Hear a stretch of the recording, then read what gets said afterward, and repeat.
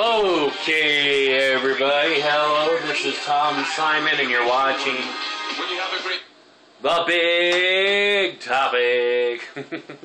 I'm having fun, actually. This is the X Factor, The Big Topic. This is uh, the third show of auditions for uh, season two of the X Factor USA or 2012. And tonight was a good show. It was a two hour show, so it was quite long. Um, basically, you know, five dollar, five million dollar prize is at stake. Uh, Simon is sick on the first part of this show. Uh, basically, Louis from the X Factor UK is where I know him from, and he's going to be the uh, the you know the substitute judge for Simon tonight, and he's filling in, and cool, this is exciting. So Kansas City, Kansas City, Missouri, is up first, and let's just get to the auditions. We'll talk about them a little bit. And I hope somebody out there likes my show because uh, I do it just for the fun of it. Rizlo Jones is first up. Uh, he does a freestyle rap, and you know how they're putting people on blast this season that are, you know, kind of intimidating other people. Well, a girl was trying to intimidate him a little bit, and you know, saying, you know, eh, he, he he's nothing to worry about, right? Well, he gets on stage. He's going to do a freestyle, Mr. Rizlo Jones, freestyle rap, and he's this scrawny little white guy. Um, basically, he got the crowd to stand up, though. He was entertaining. Uh, L.A. Reid said that it was really good, and uh, you know, I'm surprised that he got four yeses. I thought he was he was okay. He could sing, he could rap. He did a freestyle, um, but he got four yeses, so everybody liked him and it was good. So, uh, you know, the girl that was messing with him, we'll get to her in a minute. But Rizlo Jones, congratulations, you made it through with your freestyle rap. So I hope you can handle the boot camp and all that good stuff that's coming up. And uh, good luck. He wasn't my favorite, but he wasn't bad at all. And, you know, he deserves another chance. I'd like to see what he does with another chance in the boot camp. Next, we got CeCe. CeCe. Uh, she first does Unchained Melody, uh, The Righteous Brothers. She had leopard print on the face. By the way, this is the girl that they're putting on blast today, who was messing with Rizlo Jones a little bit. And uh, she bombed this song. It was horrible. But wait, wait one minute, because she comes back and they let her sing again. And she does uh, Christina Aguilera and Ain't No Other Man. And she just blew it out of the water. All of a sudden, you know, she you, you know she she screwed up the first song. It was horrible. But you got to put up or shut up, and she puts up. So really, she wasn't put on blast. Uh, she saved herself. She had that determination to do another song, even though the first one was horrible. And wow, you know, she shocked the judges, shocked me. Uh, she put up or shut up, and she put it up right on the table for us. She had the attitude style. Uh, you know, Demi says she has a girl crush, and uh, you know, good luck to you. I'm, I'm glad you didn't get uh, you know, basically destroyed out there. You, you made it. You did it. You showed what it takes to actually be an X Factor. Sometimes you get knocked down and you just got to go again and get back right back up. So, congratulations, CeCe. You did it. Next, uh, we had Vino, uh, the Britney. Oh, Britney sings Happy Birthday to L.A. Reid and gives him a birthday cake. Sounded really good. Uh, next, we had uh, Vino Alan, and he was nervous as hell. This guy had tattoos all over his face, neck, and shoulders. He had uh, fire flames on his top of his forehead, all co- or on the top of his head, co- all covered in tattoos on his head, neck, and his uh, arms. And uh, basically, he was nervous, and he plays shows for the military, so that's something he actually does. Uh, it was an incredible voice. I was surprised when he started to sing. I was really, really surprised. He's doing this for his family, and this is what the X Factor was all about. So if you get a chance, check out his uh, his audition. I, I, enjoyed it quite a bit. Um, he got four yeses, and he was incredible in my opinion. I enjoyed his deep, uh, beautiful voice, and it was it was good. It was good. Watch it. You won't you won't um, you won't be expecting what you actually see when he starts to sing. He sang he sang Trouble, and it was just incredible. Loved it. Loved every minute of it. Next, We go to the fourth audition. He does Chris Brown uh, Without You, and it's uh, is his name. And uh, basically, he's a weirdo. Was acting weird, trying to, you know, he's trying to show off in front. He just didn't work, you know. It didn't work. His whole attitude didn't work at all for me or anybody else. This is almost a waste of time talking about him. Uh, the only thing that was interesting, he, he started talking crap about Justin Bieber, uh, about the judges. He was talking smack and criticizing the judges. Um, then he basically, so so basically, it was a joke, but the joke was on him because nobody wanted to hear it. The judges got up and walked out of the building. They left. They didn't even give him yes or no's. They were mad that he wasn't taking it serious, and he wasn't.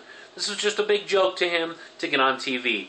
And then he runs out with the microphone, steals the mic, the little mic, and the cops get him outside and charge him with a misdemeanor, and he'll be out in a couple hours. So that was a waste of time. Moving on.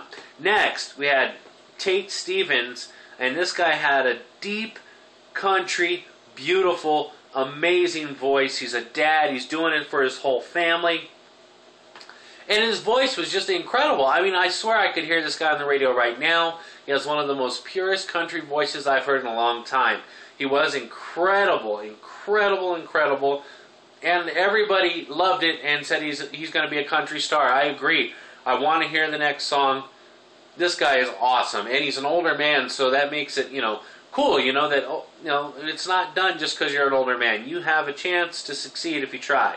So, Tate Stevens, awesome performance, amazing, four yeses without a doubt. They didn't even hesitate. They all loved him. So next we go to San Francisco. Simon is back. And uh, did I miss him on that first part? No. Uh, then when the second part started, I realized, yes, I did. I like Simon a lot on the X Factor. Yeah, he can be mean sometimes. And uh, he was very mean when he came back. Um, there was the first groups... Uh, were a group of five guys, and they were called Citizen. And basically, they did all right. Um, the song was "Don't Let Go" En Vogue, and uh, everybody else liked them. They said, "Good job." I kind of agreed with Simon. It was okay.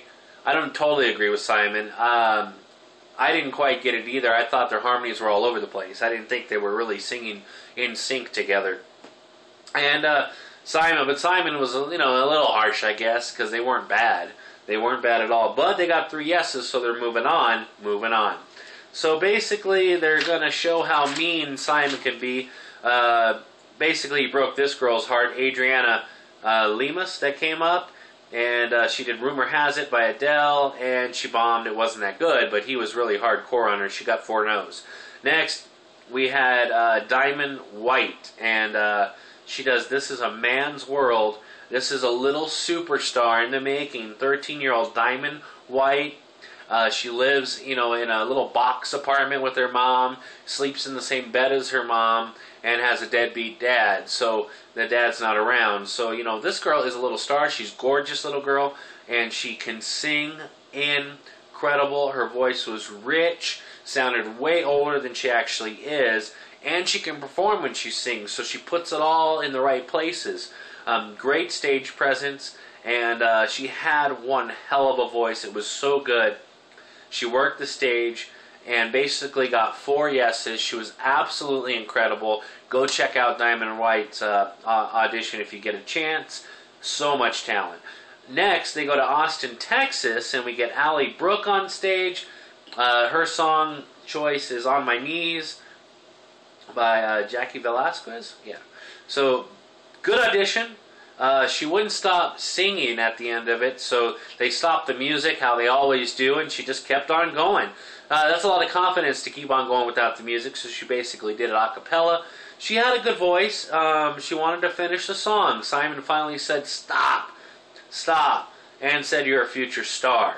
Um, basically, it wasn't one of my favorites. She had a good voice. I just thought I've, I've seen better. Um, but she was really, she was good. She deserves to go on with that said. Four yeses. Now we're going to get to the quickies. I call them the X Factor quickies, the big topic quickies. Um, Brandon Hanson, uh, or Hassan, sorry, Brandon ha- Hassan, and he does Trouble as well. And uh, it was a partial, and it sounded amazing. he got four yeses. I only got to hear a couple notes of it though, but he had a really good voice. Next was uh, what is it? Norman I Normani Hamilton, I believe, and she got four yeses. Uh, Sister C is a group, all sisters and uh, or sisters, and it was a good country group. Definitely enjoyed their harmonies to, of what I could hear. They only did a partial of it. She got four yeses as well. Next, uh, Jeremiah and Josh, a duo, uh, great voices, commercial. Uh, Britney says magical, and they got four yeses. I enjoyed what I heard of them as well. Next, we the drama that is the X Factor, let's say. Panda Ross comes out on stage.